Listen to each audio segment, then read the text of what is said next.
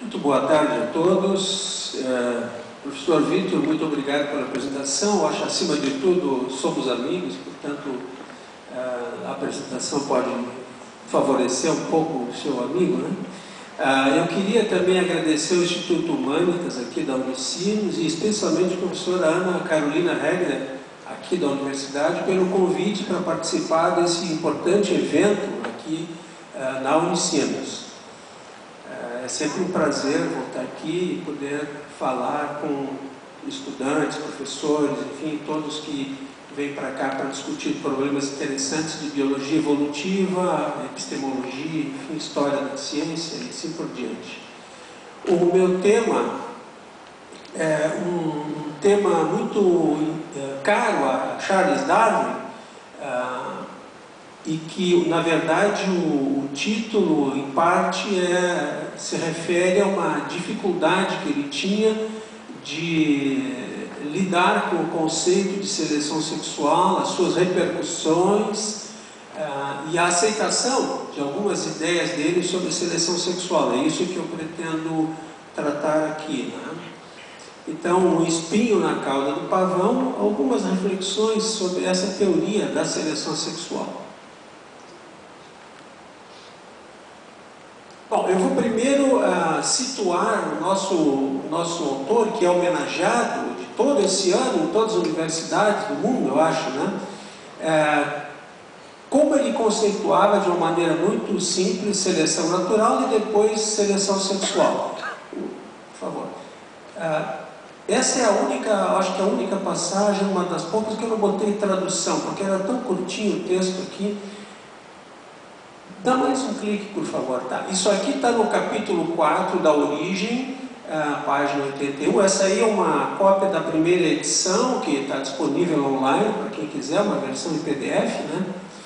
Ah, vejam o que, que ele diz aqui, só para a gente poder comparar uma coisa e outra. A preservação de variações favoráveis e a rejeição das variações injuriosas eu chamo seleção natural. Uh, certamente que ao longo do capítulo ele tentou fazer outras uh, abordagens, modificando um pouco o conceito, mas essa é a maneira mais simples de todas. No mesmo capítulo, por favor, uh, ele, ele vai dedicar cerca de duas páginas da origem das espécies ao tema de seleção sexual. Agora vamos ver a tradução. O que, que ele diz lá? Né? É uma parte mais para o final do capítulo.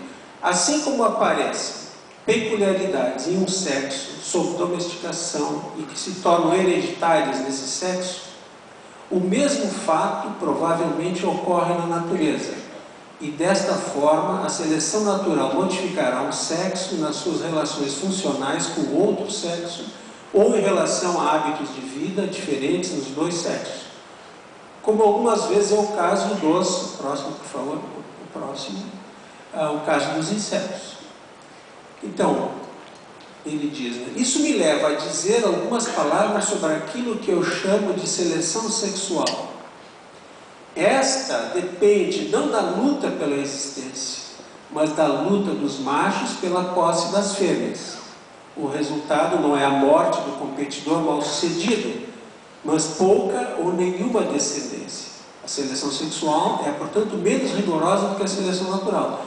E com isso ele já dá uma excelente caracterização desse processo que é de uma disputa para ele, principalmente de machos pelas fêmeas, né? Então ele está colocando o sexo, ah, as fêmeas como ah, que, que, fazem a escolha e os machos disputam essa, essa fêmea, a, primazia da escolha, né? Ah, e ao mesmo tempo diz que não é um processo tão, tão forte quanto da seleção natural, pois não envolve morte daquele que, que não foi bem sucedido, simplesmente envolve ausência de reprodução ou uma menor taxa de reprodução. Então ele caracteriza muito bem esse processo de seleção natural. O que eu queria também destacar aqui é que na origem das espécies, então, ele já trata desse tema. E não trata de uma maneira muito. São duas páginas mais ou menos que ele dedica a esse assunto.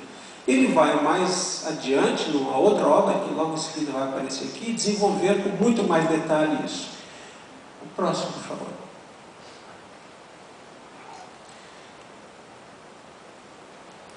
Então, ele, ele desde o início sabia que havia uma grande dificuldade em aceitar esse princípio da seleção sexual, quando comparado ao princípio da seleção natural. O que vem a seguir, que mostra muito bem essa, como ele tinha perfeita consciência dessa dificuldade, é uma, é uma passagem muito curta de uma carta que ele manda para seu amigo Asa Gray, que era um botânico americano, uh, onde ele comenta essa dificuldade. Pode mostrar e o próximo, por favor.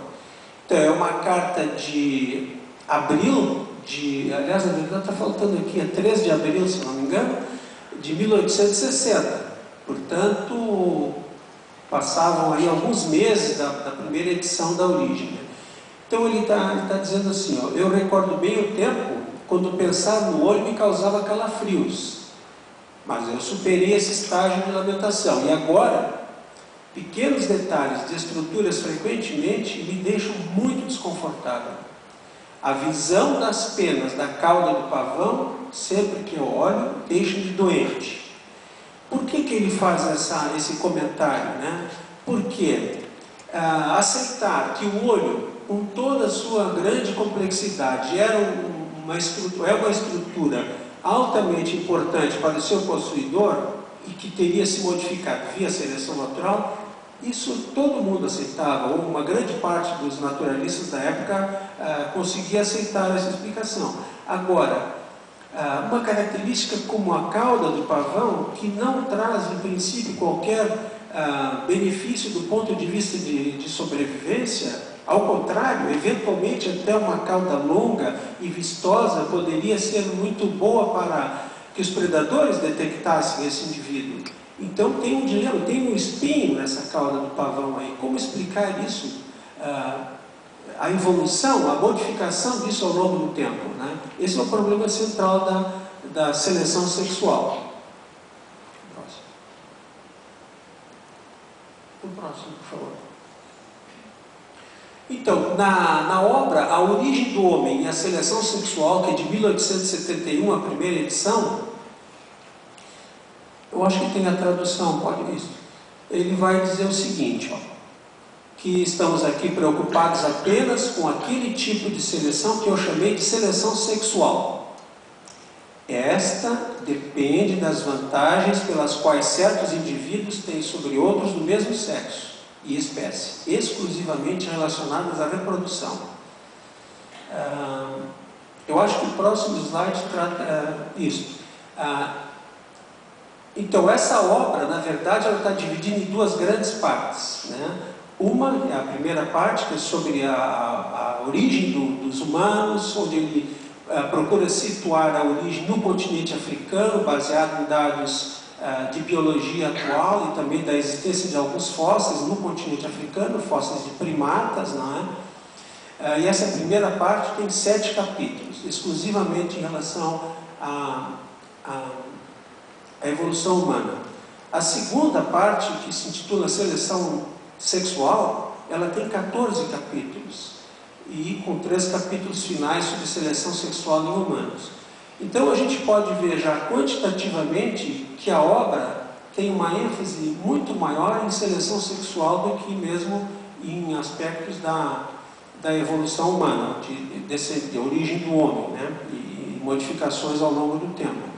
Então parece que o peso maior que ele deu já era sobre seleção sexual. Dois terços do livro né, são é, sobre seleção sexual. O próximo, por favor. Bom, neste livro ele vai dedicar, como diz ele, 14 capítulos a esse tema e, portanto, ele vai é, mostrar para o leitor uma série muito grande de evidências empíricas. Ele, na verdade, trata de todos os grupos de animais ah, onde havia alguma forma de evidência de diferenciação entre os sexos, diferenciação essa que extrapolava a mera, o mero dimorfismo sexual, outras diferenças sexuais que eh, não poderiam ser simplesmente explicadas pelo dimorfismo sexual. Próximo, por favor. E um texto ali. Ah, então, sobre, sobre cada grupo de animais, aqui é um capítulo sobre